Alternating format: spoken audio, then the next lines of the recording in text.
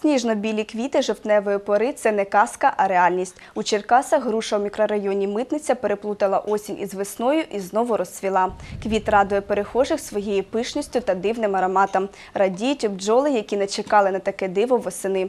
Щоправда, суцвіття не такі великі і яскраві, як у травні. Черкаські біологи пов'язують осіннє цвітіння дерев зі змінами кліматичних умов. Адже враховуючи те, що вересень-жовтень це місяці закінчення вегетаційного періоду, багато порів дерев сформували бруньки, які повністю підготувалися до розпускання наступної весни.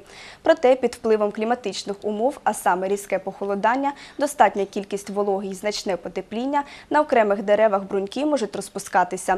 Тобто така погода може спровокувати самообман зелених насаджень. Однак така реанімація недобрий знак, адже дерева не встигають підготуватися до зими, заснути і таким чином швидко виснаджують себе. У народі ж таке цвітіння пов'язують із холодною зимою. Thank you.